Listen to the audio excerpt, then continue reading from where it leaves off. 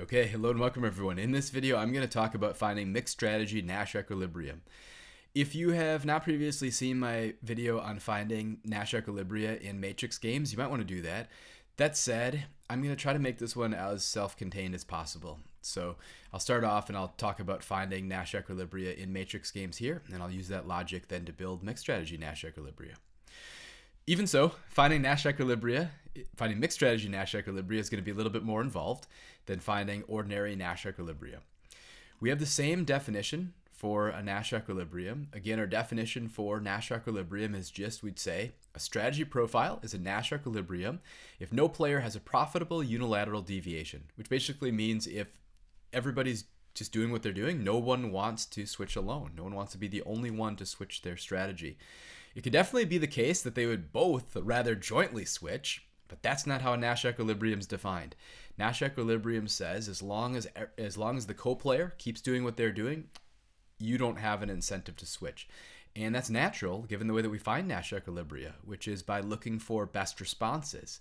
So if everybody's currently mutually best responding, you've got a Nash equilibria. And if you'd have an incentive to switch, you're not currently best responding. So mixed strategy is going to add another layer of complexity in that now we're going to assume there's some there's some probability distribution, some mixture over the strategies that a player's got. So for instance, maybe a player would play something two thirds of the time and something else one third of the time. Maybe it's got two strategies and it's gonna it's gonna mix over those two strategies, two thirds of the time on one strategy, one third of the time on the other. Well, for a mixed strategy Nash equilibrium, it's going to be the case that no one wants to switch, meaning nobody wants to place greater emphasis on one or more strategies. So here what's got to happen is this particular player, if this was part of an, a mixed strategy Nash equilibrium strategy profile, it'd have to be the case that the two-third and one-third is keeping the other player indifferent between their strategies. Two-thirds and one-thirds are, are chosen such that your co-player wouldn't want to switch. Because if your co-player switches, then you're going to want to shade towards one in one direction or the other. Actually, matter of fact, like before I say more, let me just go to the matrix and then uh, it'll be a little bit more concrete there. When finding mixed strategy Nash equilibria, your task is to find the right probability distribution, to find the right mixture. Remember, the goal is to find a situation where no one's wanting to switch, meaning we want to find the probability distribution that's going to keep the co-player indifferent. That's going to be key. Matter of fact, as we're doing this calculation, that's the place where people might make a mistake is you might forget you're trying to keep the co-player indifferent. You're not trying to keep yourself indifferent. You're trying to keep your co-player indifferent. That's the structure that we're going to develop. Okay, so here's the game I want to do this in. So it's called Matching Pennies. So maybe years ago, children used to play this game. I don't know. Maybe other people would. Who knows? Matching pennies involves two players with two strategies. You have a coin. The coin's got two sides, two faces, heads and tails. You're going to display your coin at the same time as your co-player, and if the heads match, or if the heads, if the faces match, then if it's heads heads or tails tails, then one of the players gets to keep both coins. If they don't match, if the faces are different, then the other player gets to keep both coins. So we'd say we've got two players, we've got two strategies, and outcomes are where you could gain or lose your penny. Here's the matrix representation. So I've got player one, I've got player two. Player one is choosing the rows. So player one is choosing heads or tails, and that's going to determine are we in the top row or the bottom row. Player two is choosing heads or tails in columns. Are we going to be in the left column or the right column? The first number is going to be the payoff to player one. The second number is the payoff to player two. So there's going to be four strategy profiles, heads, heads, heads, tails, tails, heads, and tails, tails. And then the outcomes associated with those strategy profiles are these are, are given by the numbers in the payoff table.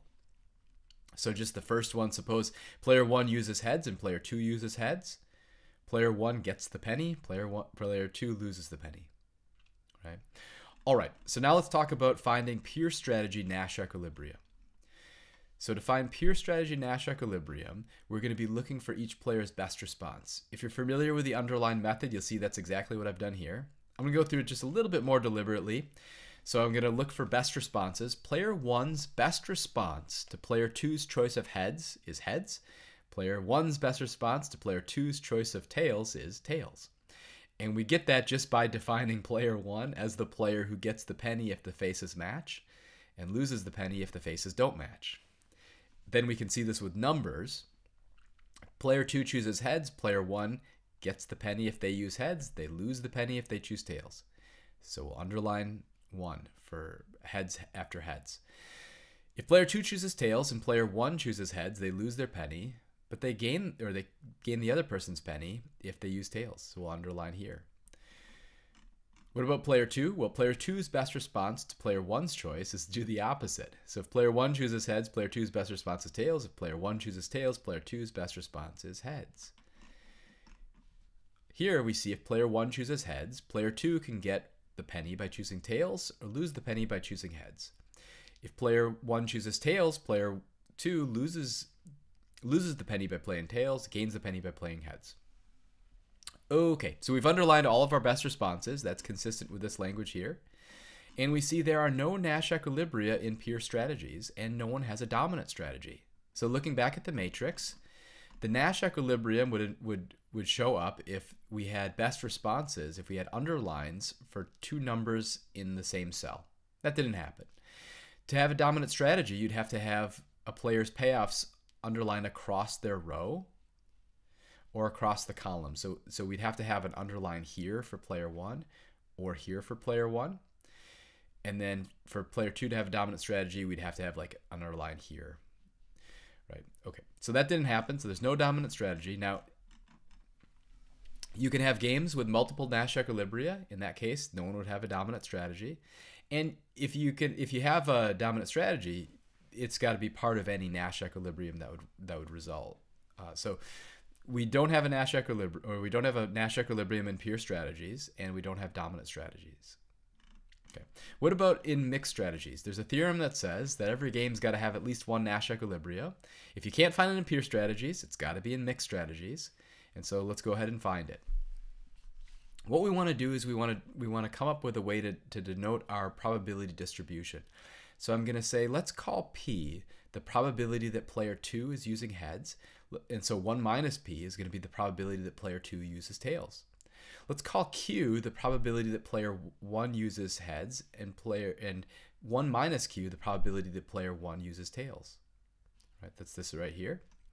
Good. Now player 1 is going to choose Q to keep player 2 indifferent between heads and tails, and player 2 is going to choose P to keep player 1 indifferent between heads and tails.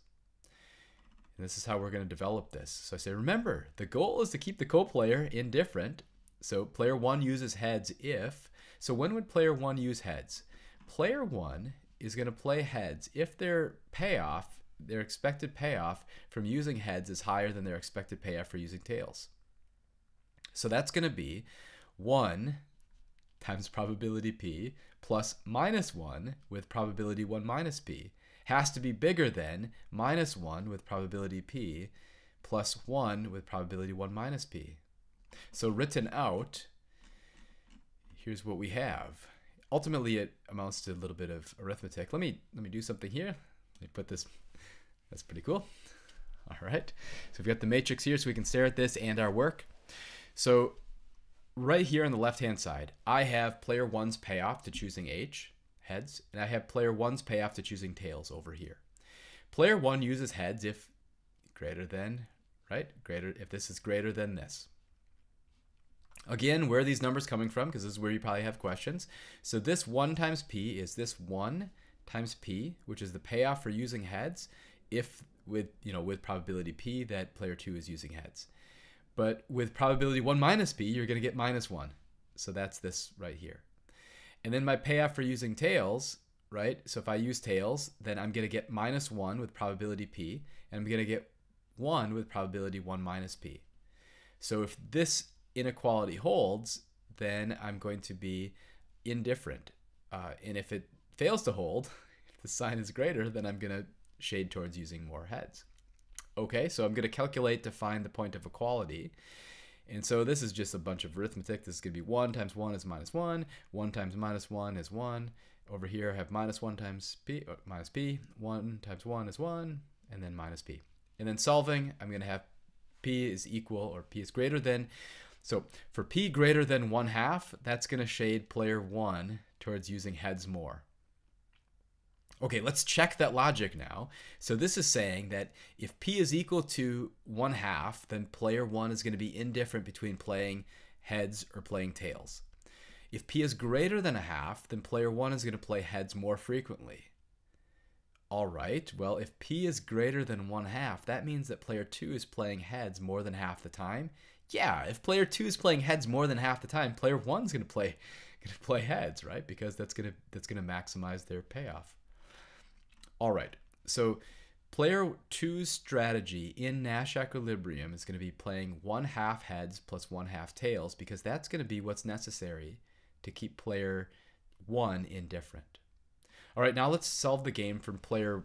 Let, us solve for Q, right? Let's solve the game from player two's perspective. Let's find out what player one's got to choose Q to be to keep player two indifferent. All right, so I okay, so this is uh, probability player one choose. I had to I fixed this just a second ago. Is this right? Player no, this is wrong. It was correct here. so right. Q uh, so this let me just kind of take that away. How about that? That's the easier solution, right? the goal is to keep the co-player indifferent. Player two uses heads if. Uh, when's player two going to use heads? Player two is going to use heads if the payoff from heads exceeds the payoff from tails. What are the payoff from heads? It's going to be minus one with probability q and one with probability one minus q. And then it's going to be one with probability q and minus one with probability one minus q. Okay, so that's this right here. This is player two's payoff to using heads. This is player two's payoff to using tails. Again, this minus 1 times 1q is this 1 times q. This 1 times 1 minus q is this 1 times 1 minus q. And what's going to happen is we're going to find the point, we're going to find the q that's going to make the player indifferent between using heads or using tails. Again, it's 1 half. It's got to be. The game's symmetric, right? So player 1 is going to use the strategy one half of the time playing heads, one half the time playing tails. All right. So let's see. Is this so when is uh so let's see. So player 1 player 2 is going to use heads if player 1 is playing ah player 2 is going to use heads if player 1 is using heads because Q is the probability that player 1's using heads. Player 2 is going to play heads if the probability that player 1's using heads is smaller than a half, right? If more than half, uh, put differently, if player 1 is playing playing tails more than half the time, then player 2 is going to play heads, right? That's right because if player 1 is playing tails more than half the time, player 2 plays heads because then they have the different the different uh, face. Okay, so our mixed strategy, Nash equilibrium, is for each player to play half of their to play each of their strategies half the time. So P is going to be a half. 1 minus P is therefore a half. Q is a half, and 1 minus Q is therefore a half. This indeed is a Nash equilibrium because as long as the co-player is playing each strategy with half probability, no one wants to switch. Note, if you played one with greater frequency than a half, then the rival is going to respond and it's going to shade towards whichever is going to be their profit maximizing strategy. So, for instance, if, if your player one and player two starts playing heads more than half the time, you're going to play heads more than half the time, maybe all the time. What if your player what if your player 2 and player 1's playing heads quite a bit? Well, if your player 2 and player 1's playing heads more than half the time, then you're going to start playing tails because you'll be over here, you'll get that one. Okay, so there's other games that are kind of like this. So think about like rock, paper, scissors, right? So, so rock, paper, scissors, right? So rock beats scissors, right? So rock, scissors breaks rock, paper covers rock, and then scissors cuts paper. So we can make this into a game, two players, three strategies.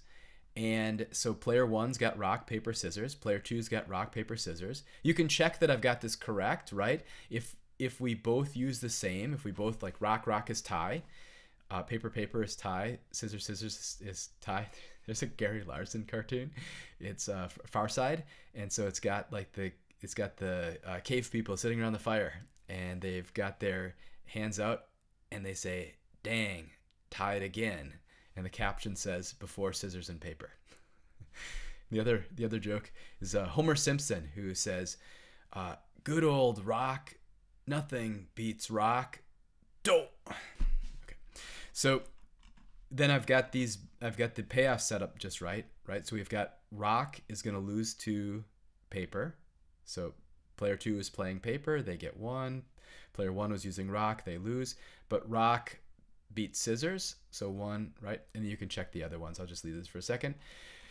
What's the best response to using rock? To the co-player using rock? Paper. What's the best response to the co-player using paper? Scissors. What's the best response to your co-player using scissors? Rock.